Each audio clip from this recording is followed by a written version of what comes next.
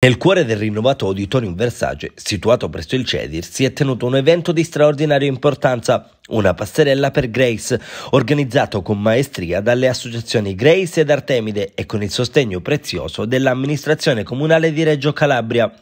Questo evento ha offerto un'occasione unica alle donne che hanno sconfitto il cancro, permettendo loro di rinascere e riscoprire la gioia di vivere attraverso la bellezza.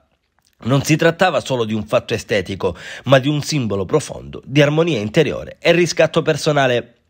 La manifestazione è stata uno spettacolo dentro lo spettacolo, un'opportunità per riflettere profondamente su un tema delicato ma doloroso, ma al contempo è riuscita ad offrire un momento di leggerezza e speranza.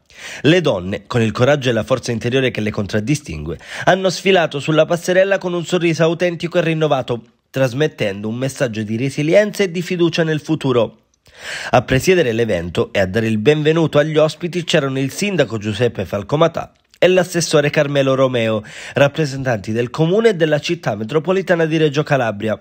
La loro presenza ha sottolineato l'importanza e il sostegno istituzionale a iniziative di questo genere che promuovono la solidarietà la valorizzazione della vita e la bellezza interiore. Una bellissima iniziativa, quella organizzata dalle associazioni Grace e Artemide, che noi come comune e come città metropolitana abbiamo eh, patrocinato e ospitato all'interno dei eh, rinnovati locali del Salone Versace del Cediri. Lo facciamo perché è un approccio diverso. Questa iniziativa ci insegna che eh, rispetto a determinate malattie, rispetto a determinate patologie, tecnologie serve un approccio naturalmente scientifico e medico, ma serve naturalmente anche un approccio che riguardi più l'aspetto morale, umorale e psicologico. E quindi determinate sfide, determinate battaglie vanno affrontate con coraggio, con eh, consapevolezza, con, eh, senza mai perdere quello che è il senso eh, della persona. Io ringrazio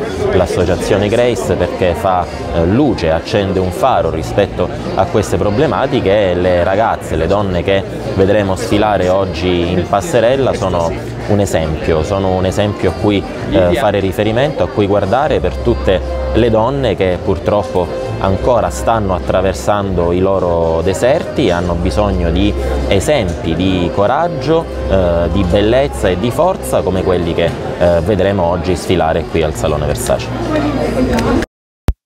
Assolutamente sì, siamo onorati e contenti di collaborare con Grace a questo evento.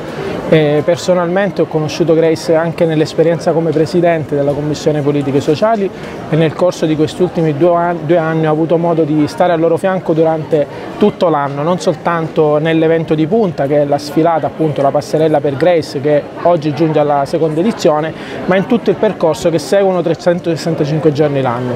È una situazione che dà davvero forza eh, alle donne che vivono un momento particolare e dà anche una ulteriore forza per superarlo ed è da stimolo per tutti.